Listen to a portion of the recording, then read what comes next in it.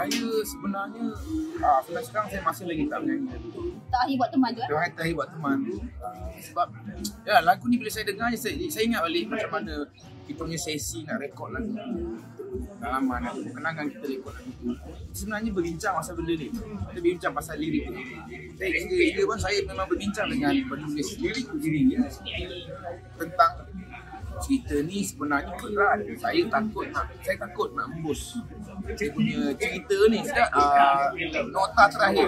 Nota terakhir. Ha, nota terakhir. nota terakhir. Saya rasa macam saya jumpa dengan arwah baru ni bang tajuk ni saya kata semua kat sini. Bang pakai note tau. Drama pakai musician pakai penyanyi pakai semua even semua orang pakai note. So kita tak nak lagu ni jadi note terakhir kita. Itu kita bincang tolak timbang tolak timbang dengan satu kita bukan kita, kita saya seorang. Bincang dengan semua lah. Satu tim kita buat uh, apa uh, brainstorm apa semua. Eh ni kita tukar lagu tu menjadi terakhir buat teman. Lah, lah, kebetulan pula yang memberikan cadangan untuk terakhir buat teman tu Abang Ujang Abang Ujang drama Abang Ujang Aziz yang yang adik dia involved dalam projek ni. Tapi saya saya saya lah saya produce untuk vokal saya tukarkan part kalau perasan lah bila orang bernyanyi duet orang akan menyanyi macam satu rangkap lagi satu rangkap perempuan yang ni saya tukar satu baris satu baris jika pergi nak kembali lagi. So kita ah, sebab saya tak nak embus lirik tu. Saya tak nak embus rangkap tu. Saya macam kena, pecah dua.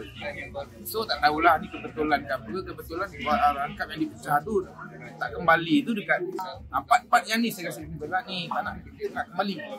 So bila bila saya bersuarakan benda ni dia orang cakap saya deep. Ni berat sangat mak. Tapi saya percaya sebab apa yang saya, saya faham ni Pesanan-pesanan daripada orang-orang lama juga. Ah, Hati-hati dalam pemilihan diri tu.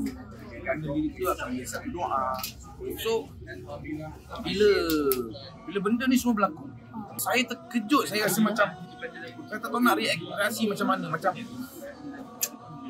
Patut ke saya cerita? Yelah Memang lah uh, tak, takkan terkubur lah sebab bila satu seni tu dah karya tu dah disiapkan saya sebagai orang yang masih yang, yang ada masih bertanggungjawab untuk ni. Jika ada orang minta saya akan nyanyi. Jika ada ada yang nak lagi sebagai tanggungjawab sampai orang yang masih hidup lagi saya akan nyanyikan lagu tu. Saya tak tahu saya tak tahu lah kalau anda kata saya dah saya kena nyanyi lagu ni sebab saya tak pernah lagi nak lepas pada tu saya tak berani nak nyanyi. Lepas Sarah saya tak pernah nyanyi dah. Saya tak pernah nyanyi dah sebab partner saya berat lah. Saya tak tahu macam mana perasaan saya masa saya nak nyanyikan lagu tu. Kalau ada orang request lah sebab mesti tak ada orang request lagi